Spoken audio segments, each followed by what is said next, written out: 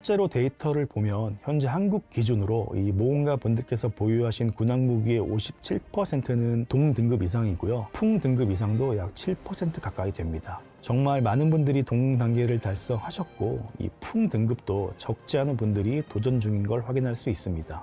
당장의 상황만 보면 이 군항 무기를 통해서 이 막막했던 공격력 성장 구간을 뚫고 있는 상황이지만 시간이 좀 더 흐르면 다시 원래의 상황으로 돌아올 것으로 판단이 됩니다. 그래서 더 늦기 전에 이 데보레카를 군왕 무기와 비슷한 방식으로 완화를 해보고자 하는데요. 그런 의미에서 새로운 악세사리 하나를 준비했습니다.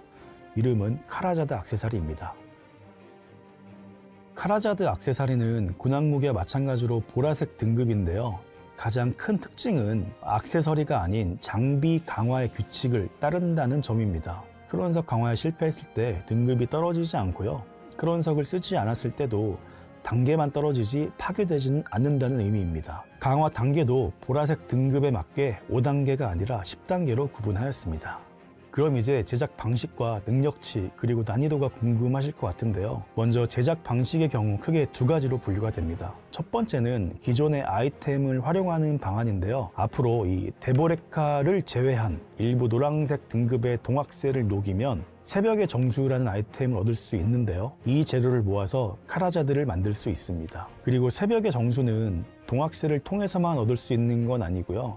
이 재료 자체를 어, 특정 사냥터에서도 획득 가능하도록 준비하였습니다. 두 번째 방법은 데보레카를 활용하는 방안인데요. 이 제작 방식은 조금 후에 다시 한번 설명드리겠습니다. 다음으로 능력치의 경우에는 반지를 기준으로 현재 보이시는 것처럼 노강 카라자드의 경우 공격력이 낮지만 강화 단계가 높아질수록 계속 상승하는 구조입니다. 어, 유가 되면 동초승과 같아지고요. 동이 되면 유대보와 같아집니다. 그리고 8단계인 풍이 되었을 때는 이 동대보와 같은 공격력이 되고요. 어, 단과 환 단계에서는 각각 1씩 더 오르게 됩니다. 강화 확률을 포함한 전체적인 난이도의 경우에는 군항 무기와 느낌을 비슷하게 설계했는데요. 동까지 가는 과정은 조금 더 쉽게 했고요. 동대보와 동일한 능력치의 풍 등급도 동대보의 강화 난이도와 비교했을 때는 조금 더 쉽게 달성할 수 있도록 조정하였습니다. 다만 그 위에 단과 환의 경우에는 난이도를 좀 어렵게 두어서 도전의 영역으로 여지는 남겼습니다. 그리고 데보레카와 비교했을 때 필요한 크론석 개수가 좀 줄어든 만큼 음, 카라자드 악세사리 역시 통합 거래소 등록이 불가능한 점 참고 부탁드리겠습니다. 그럼 여기서 데보레카는 어떻게 되는 거지? 이런 궁금증이 생기실 것 같은데요. 특히 지금까지 정말 열심히 도전하셔서 이 동대보를 만드신 분들도 많기 때문에 저희 역시 그만한 가치를 충분히 인정받을 수 있도록 해드리고 싶었습니다. 그래서 데보레카의 경우 이 강화된 카라자드 악세사리로 전환이 가능하도록 준비를 했는데요. 우선 유대보의 경우에는 능력치가 동일한 동카라자드로 전환 가능합니다. 동대보 같은 경우에는 음, 능력치로만 보면 음, 풍카라자드가 되는 게 맞는데 이 가치 환산을 했을 때는 그에 미치지 못하기 때문에 풍보다 한 단계 더 높은 단계죠. 예, 담 등급의 카라자드로 전환 가능하도록 구성하였습니다.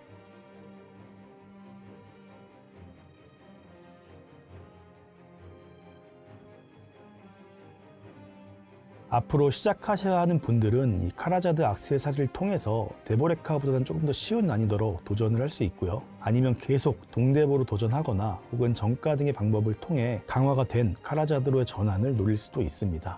그럼 다음은 이제 세팅의 다양화에 대해서 이야기를 해보고자 하는데요. 뭔가 여러분께서도 그동안 많이 의견을 주시기도 했는데 음, 현재 데보레카 악세서리가 많아지면서 아이템 세팅이 좀 획일화되는 문제가 있었습니다. 그러다 보니까 이 특색을 품고 있었던 이 노란색 악세사리들이 시간이 지날수록 가치가 감소하는 현상이 생기게 되었는데요. 그래서 이번 카라자드는 다양한 세팅까지 가능한 음, 악세사리로 준비를 하였습니다. 다만 이 세팅의 다양화라는 게 고가의 악세를 여러 개 보유해야 하는 그런 부담 어, 그리고 적중과 같은 고가의 악세를 이미 보유하고 계신 분들의 어떤 새로운 farming에 대한 두려움 이런 문제가 생길 수 있고 또 여기서 전환하는데 불편함을 드리지 않아야 했습니다.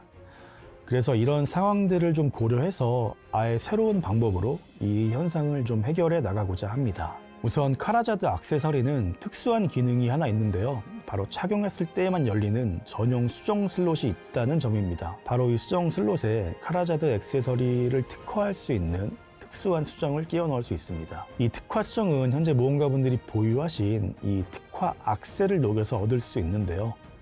예를 들어서 여명의 귀걸이나 이 트로의 허리띠를 녹이면 적중 특화 수정을 제작할 수 있는 이런 재료를 얻을 수 있게 되고요. 이 수정을 장착하시면 카라자드 악세서리는 표기 공격력이 낮아지는 대신에 적중력이 오르는 이 특화 능력치로 변환이 됩니다. 적중은 예시일 뿐이고요. 이 외에 흑정령의 분노, 피해 감소, 회피 같은 특화 수정 역시 모두 준비하고 있습니다. 이렇게 특화 수정을 다양하게 조합하면 그에 맞게 카라자드 액세서리의 능력치가 변경되기 때문에 무언가 여러분의 어, 플레이 스타일이나 혹은 클래스에 따라서 다양한 세팅이 가능할 걸로 기대하고 있습니다. 그리고 이 특화 수정은 악세를 녹이는 것 뿐만 아니라 이 다양한 루트를 통해서 입수할 수 있도록 준비하고 있습니다. 예를 들어 적중의 경우 동여명이나 동트로를 녹이면 최상위 등급의 적중 특화 수정을 바로 얻을 수 있는데요. 이 방법 외에도 사냥이나 특수잭 같은 형태를 통해서도 얻을 수 있다는 의미입니다. 그리고 최상위 등급만 있으면 또 부담이 될 수 있잖아요. 그래서 그 전까지 활용할 수 있는 이 특화 수정의 하위 단계들도 준비하고 있습니다. 사냥 위주로 즐기시는 분들은 이 특화 수정이 반드시 필요하진 않지만 그래도 PVP 같은 컨텐츠를 즐길 때에는 이 세팅의 부담이 있었잖아요. 이 하위 수정들을 통해서 이런 부담들이 조금이나마 좀 완화됐으면 좋겠습니다. 아 그리고 참고로 지금 말씀드린 이 특화 수정들은 파괴되지 않는 점 참고 부탁드립니다. 이 패치가 되면 기존의 일부 노란색 악세사리들이 좀 더 귀해질 수 있는데요. 이러면 또 낮은 사냥터를 가야 하는 상황이 생길 수도 있잖아요. 이런 일이 발생하지 않도록 이 강화된 노란색 악세사리를 이 최상위 사냥터에서도 얻을 수 있도록 하는 방안을 포함해서 너무 스트레스 받지 않으시도록 이 다양한 방식으로 구현해 나가겠습니다.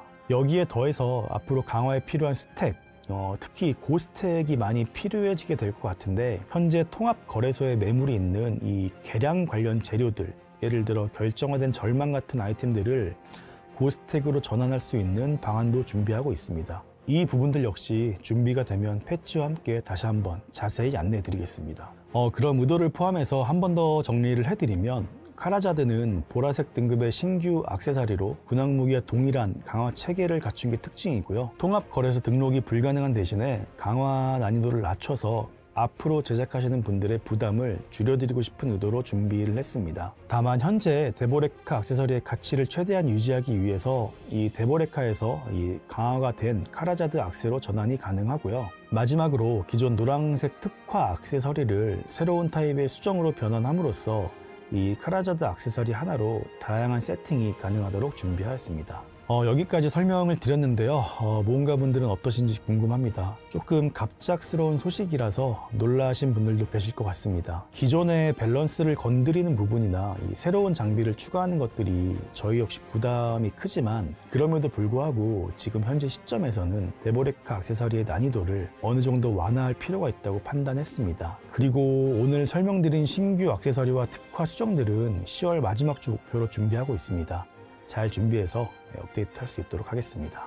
관련된 소식은 여기서 끝인데 어, 마지막으로 하나만 더 이야기를 드리고 싶습니다. 제가 아까 카라자드 악세서리를 제작하는 재료의 경우 특정 사냥터에서도 얻을 수 있다고 말씀드렸잖아요. 어, 그래서 이 새로운 사냥터도 준비하고 있는데 어, 그곳은 아침의 나라입니다. 사실 아침의 나라는 본래 이야기가 아닌 외전으로 좀 제작한 곳이라서 검은 사막의 본대륙에서 하던 것과는 좀 다른 경험을 드리고 싶었습니다. 사냥은 본대륙에서도 많이 충분히 하고 있는데 굳이 아침의 나라에서도 똑같은 경험을 하게 해드려야 하나? 이런 생각이 좀 있었거든요. 우두머리 전투를 컨셉으로 해서 검은 사당을 만든 가장 큰 이유이기도 합니다.